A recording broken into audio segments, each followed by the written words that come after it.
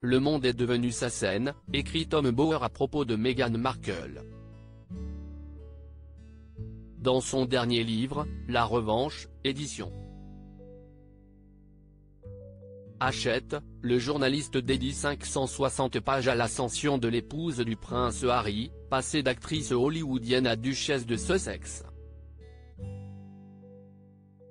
Alors que l'on a appris, le 12 avril, que le cadet de Charles III serait présent à son couronnement, le 6 mai prochain, sans sa femme et leurs enfants, l'écrivain a accepté de répondre aux questions de gala.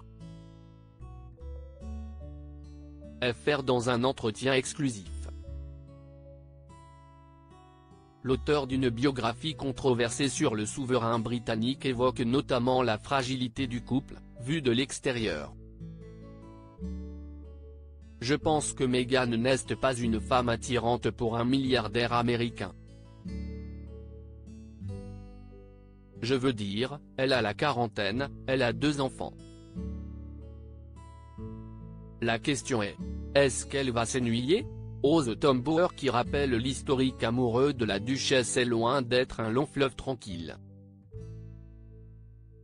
Tout le monde dit qu'elle s'ennuiera avec Harry. Je pense qu'elle va rester avec lui, mais,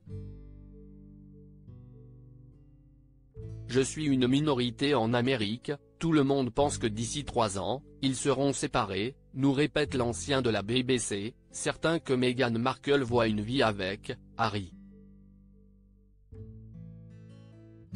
Supérieur à supérieur à photo, Prince Harry et Meghan Markle, les 90 moments marquants de leurs 4 ans de mariage et les divorces, seul moyen pour Harry de retrouver sa famille, au Royaume-Uni, nombreux sont en effet les détracteurs de Meghan Markle, persuadés que son mariage avec le prince Harry, autrefois très apprécié des Britanniques, prendra un jour fin.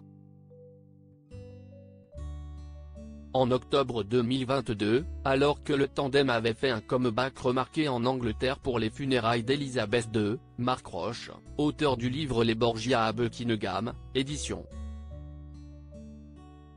Albin Michel, avait accordé une interview à Gala. FR, dans laquelle il expliquait que la séparation des Sussex était vivement espérée outre-Manche. Ce scénario serait en effet le seul qui pourrait permettre à Harry de retrouver sa place au sein de la monarchie. Seul, le prince Harry sera accueilli les bras ouverts, il retrouvera son titre, ses fonctions dans l'armée etc. Ce divorce, c'est l'espoir ici, au Royaume-Uni, nous avait assuré le journaliste basé à Londres. Crédit Photo, agence.